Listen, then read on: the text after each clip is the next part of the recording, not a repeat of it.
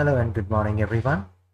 This is Dr. Muhammad Ali and today we have to deal with very important interesting topic from CNS pharmacology that is about anti-epileptic medications, anti-epileptic drugs or AEDs. So let's get right into it. Anti-epileptic drugs by definition are, are the drugs which are used to prevent or control epilepsy. These drugs usually do not cure epilepsy. Epilepsy is a chronic medical condition produced by sudden changes in the electrical function of the brain. It is a condition characterized by recurrent episodes of seizure. Seizure is basically a paroxysmal, meaning sudden, abnormal, high-frequency discharge of cerebral neurons.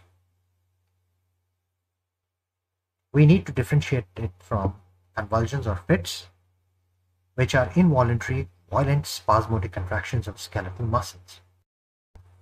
Approximately 10% of the population has at least one seizure in their lifetime. Globally, epilepsy is the fourth most common neurologic disorder after brain, migraine, cerebrovascular disease, stroke, and Alzheimer's disease. Now, as you can see on the slide, we have a list of causes which can cause epilepsy and on the top of the list, we have congenital or congenital defects, head injuries, traumas, hypoxia. Certain infections can do it.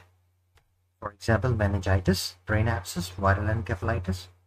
Concussions depress the skull and fractures can do it. Certain brain tumors can do it. Drug withdrawals can do it.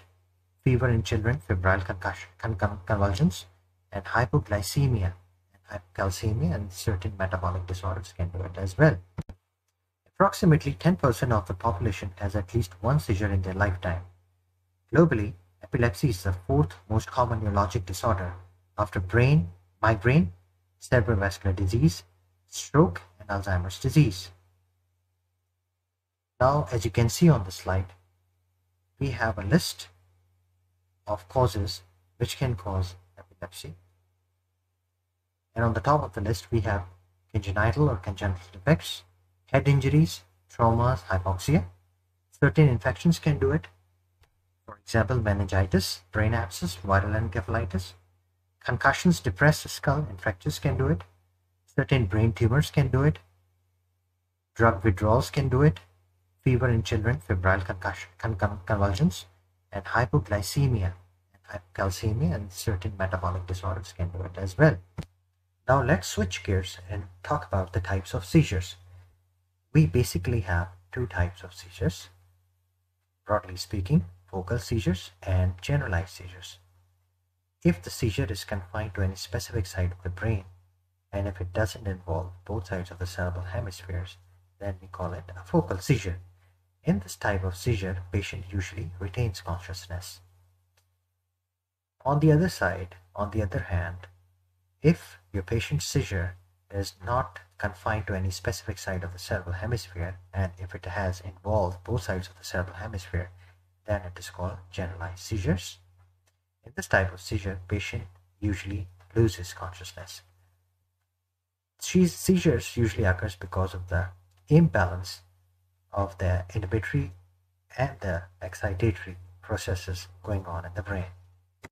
Seizure occurs because of the imbalance between the excitatory and inhibitory neurotransmission occurring in the brain. As you can see on the slide, this is normal CNS function.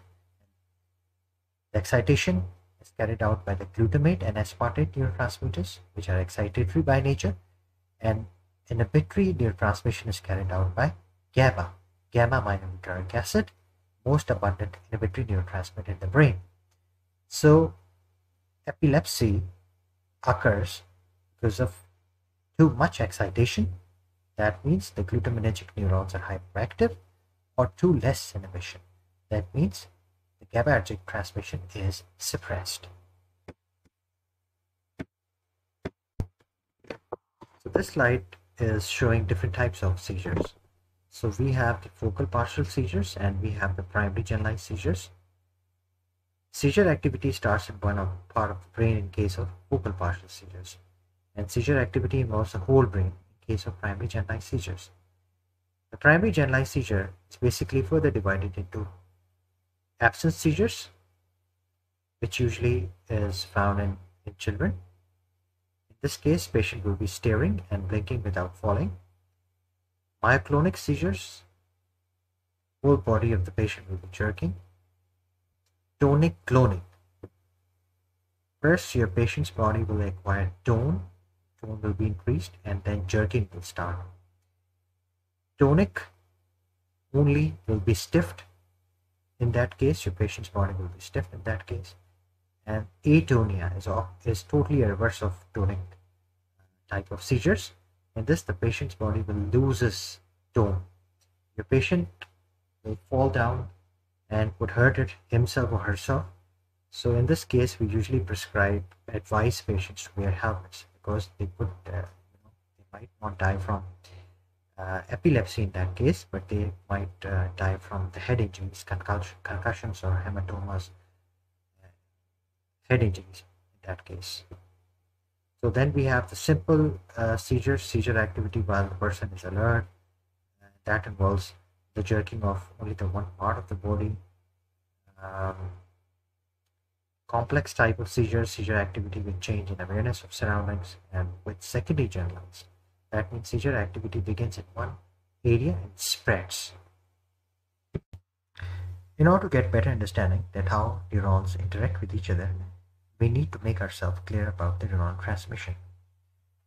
So when the wave of depolarization arrives at the nerve terminals, what happens is that sodium channels opens and sodium rushes inside the nerve terminals. The high intracellular levels of sodium opens the high voltage gated calcium channels and the calcium rushes inside the cell and fuses with the glutaminergic vesicles.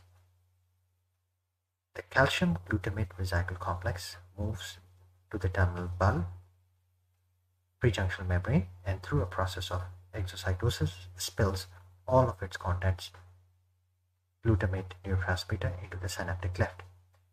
The glutamate, which is excitatory neurotransmitter, usually hooks up with its AMPA receptors responsible for the influx of sodium ions inside the postjunctional neurons and the NMD receptors N-methyl D-aspartate receptors responsible for the influx of calcium ions inside the postjunctional neurons. Now we also have a low voltage gated calcium channels on the post-junction membranes, neurons, and they are also known as the T-type calcium channels, thalamic type calcium channels. Now this is basically a model of excitation. Enhanced uncontrolled activity of glutaminergic neurotransmission causes epilepsy but this usually is controlled by the inhibitory impact of the GABAergic neurotransmission, which is going on side by side with the GABA with the glutaminergic neurotransmission. GABA usually keeps a check on the glutaminergic neurotransmission. GABA neuron obviously will release GABA neurotransmitter in the synaptic cleft, which will uh, which has a specific receptor GABA A receptor uh, present on the post-junction membranes. Responsible for the influx of chloride. Ion and chloride is, is a negative ion it causes repolarization and tries to relax the excited neuron. After the GABA performs its desired effect it has two fates. It is either reuptake by GABA transporter or it could be packaged inside uh, the vesicle again or it could be degraded by an enzyme known as GABA amino transferase. Hence, the main goal of anti-epileptic therapy is to enhance the depressed GABAergic activity or to suppress the excited glutaminergic activity or to modulate the propagation of impulses through voltage-gated ion channels. Anti-epileptic medications are generally classified into first generation anticonvulsants and second generation anticonvulsants.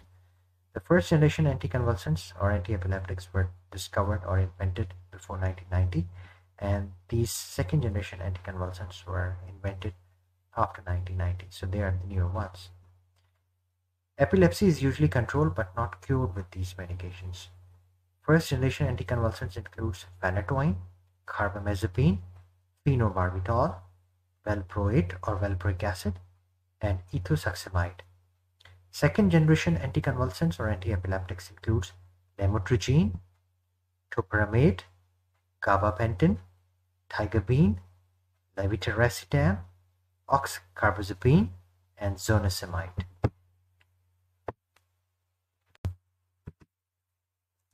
Newer agents differ from older drugs by relatively lack of drug-drug interactions, meaning they have simple pharmacokinetic profile and improved tolerability. However, they are costly with limited clinical This is schematic diagram showing mechanisms of different anti-epileptic medications. So as you can see over there, the sodium channels are blocked by various anti-epileptics carbazepine, uh, lamotrigine, phenytoin, uh, topiramate, valproic acid, zonisamide. On the other hand, this high voltage gated activated calcium channels are inhibited by lamotrigines and topiramate. On the other hand, accessory subunit alpha alpha 2 delta 1 subunit of the high voltage uh, activated calcium channels can be uh, blocked by gabapentin and pregabalin, whereas the SV2A proteins found in the walls um, of the glutamate-containing vesicles can be impaired with the levetiracetam administration and by impairing the synthesis of these proteins, SV2A proteins, levetiracetam impairs the release, synthesis and release of glutamate which is the excitatory uh, neurotransmitter responsible for excitation um, of the cerebral neurons. Felbamate, on the other hand, inhibits the NMDA receptors N-methyl D-aspartate receptors responsible for the influx of calcium ions. Again, low voltage gated calcium ions can be inhibited by valproic acid, zonisamide, and ethosuximide. Tiagabine and vigabatrin, two important medications, anti-epileptic, neuro anti-epileptic medications. Tiagabine uh, blocks the, you know, the uptake of um, GABA back into the uh, nerve terminals. So it blocks its transmission, uh, so it blocks its transport, where on the other hand, vigabatrin uh, blocks this enzyme um, GABA aminotransferase responsible for the degradation of or metabolism of GABA. So that's how it um, enhances the GABAergic transmission, potentiates GABAergic transmission. This is the open sodium channel and this is the inactivated sodium channel. So carbamazepine, phenytoin, and topiramate causes these channels to remain inactivated for a prolonged period. Lamotrigine, valproic acid, and zonisamide can also do it. Benzodiazepines causes increased frequency of the chloride ion channel opening. In contrast, barbiturates causes increased duration of the chloride ion channel opening and ultimately causes hyperpolarization and relaxation of cerebral neurons you can see over there calcium influx is going on through high voltage gated calcium channels. This is calcium influx through low voltage gated calcium channels. Ethosuximide and valproic acid both have the capability of blocking these low voltage gated calcium channels. Okay so now let's summarize the side effects of anti-epileptic agents. Keep this thing in mind that almost all antiepileptics can cause sedations and dizziness. Now let's talk about the specific side effects of antiepileptics.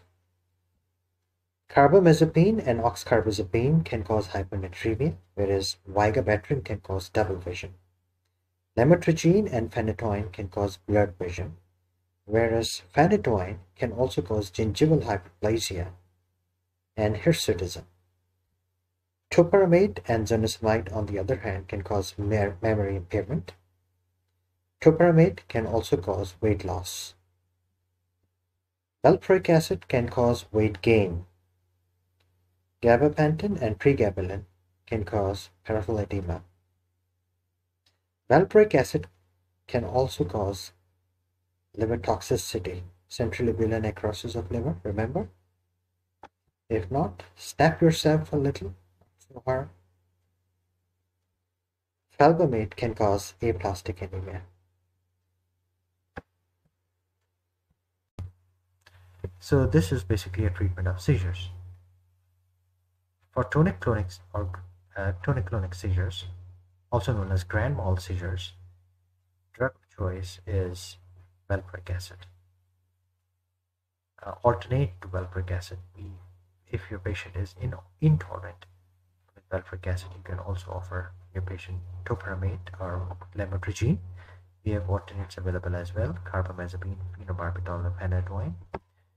For partial, simple, or complex seizures, carbamazepine is the best drug. Then you can also use phenytoin and valproic acid, depending on the tolerability and the side effects.